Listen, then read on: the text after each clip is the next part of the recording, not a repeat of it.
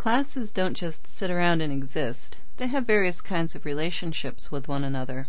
So let's talk about associations. Associations show a relationship between classes. In other words, if there's a conceptual connection between two classes, we say those classes are associated. Often, associations imply a has a relationship. An example will clarify what that means. Let's say we have one class, we'll call it the manager class, and a second class that we'll call the employee class. If we associate these classes by drawing a line between them, we could read this as a manager has an employee. We could also read it in the other direction an employee has a manager. Now we can name this association if we want to be more specific than has a. So we'll say manages. You name an association by specifying the verb that names the kind of association and showing the direction in which that works. You can do that in several different ways. You can use an arrow here instead of a straight line to point in the direction of the verb. A manager manages an employee. You can also show it in the actual name. Now this would be better if I had a closed filled in triangle but this modeling tool doesn't let me do that. So I just use an angle bracket to point, and, and it conveys the idea, and that's the important thing. So the association here, as I said, is a manager manages an employee. You could also do it in the other direction. An employee works for a manager, as long as it's clear in which way this association works. You can also have more complex associations than one class on either side. For example, let's say we have a class called play. And associated with this class, we have the classes of director, actor, set, maybe we have a prop class, and so on. We can associate all of these classes with the class of play. And if we like, we can name the associations uh, or not.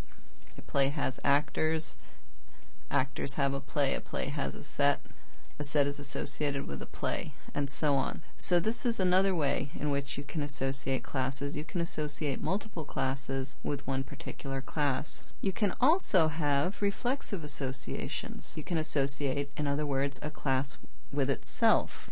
This can happen when objects in a class can play more than one role. And this example shows you what I mean. You show a reflexive association by drawing a line that goes out of the class and then goes around and comes back into the class. And you name the roles and their actions to show how that reflexive association works. So we have here a class called orchestra, and an orchestra has members that might have different roles. So we have one conductor conducts many musicians in an orchestra. Now I'm sure you noticed just now this number and this asterisk, and these let us show multiplicity. Multiplicity shows the number of objects in a class that can associate with an object in the associated class. So back here with our manager and employee association, we might associate one manager with many employees. The asterisk means many or it can mean more. And you can put in the one, or if you leave the one out, it's assumed that you mean one. So we have a manager manages many employees. And there are various kinds of multiplicity that you can show in your associations. And this lays them out for you. You can have a one to one relationship. A company has a CEO. And as I said before, you can either put the, the ones in or you can leave them out and they're assumed. As in the next example, this is a one-to-many relationship. One library has many books.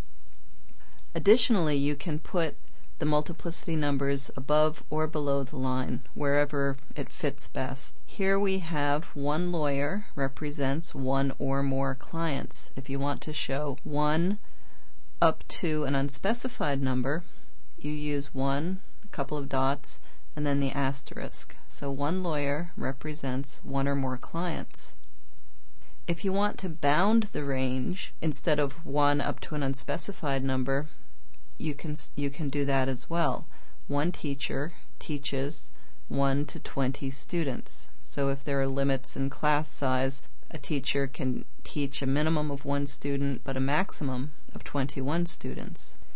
You can show a multiplicity that allows an either or. One deck has either 48 or 52 cards, depending on whether or not you're playing pinochle.